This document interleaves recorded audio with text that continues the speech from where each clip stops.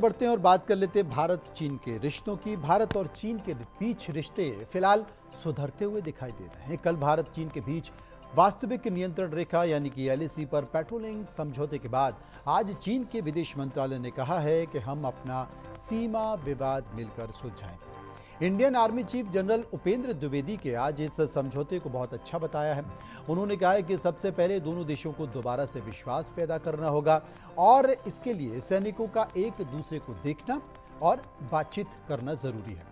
Patrolling के ज़रिए इसके बीच माहौल अच्छा लगेगा। भारत और चीन ने एक दिन पहले कल, यानी कि इक्कीस अक्टूबर को पेट्रोलिंग पर समझौती जताई थी। विदेश मंत्री एस जयशंकर ने कहा कि भारत और चीन की सीमा पर पेट्रोलिंग सिस्टम को लेकर समझौता हुआ। इसमें मई 2020 में गलवान टकराव के पहले ही स्थिति वापस आएगी ये सकारात्मक है। आर्मी चीफ ने कहा है कि buffer zone management de escalation ज़रूरी है। सेनाओं का पीछे हटना, बफर जोन मैनेजमेंट भी इसके लिए अहम है। हम भरोसा कैसा पैदा करेंगे? जब हम एक दूसरे को सुन सकेंगे और एक दूसरे को संतुष्ट कर सकेंगे, हम ये भरोसा जता पाएँगे जो बफर जोन बनाए गए हैं, हम उसमें जाएँगे। पेट्रोलिंग है, ये प्रोसेस करने में आसानी होगी।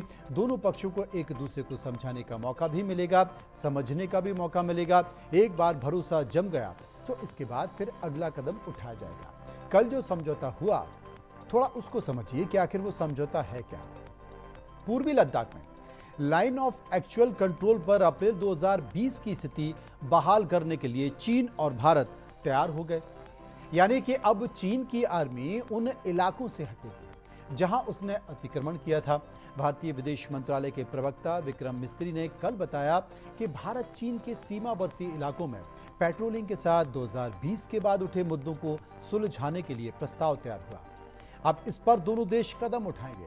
आपको बता दें कि अप्रैल 2020 में चीन ने सैन्य अभ्यास के बाद पूर्वी लद्दाख के छह इलाकों में अतिक्रमण किया था।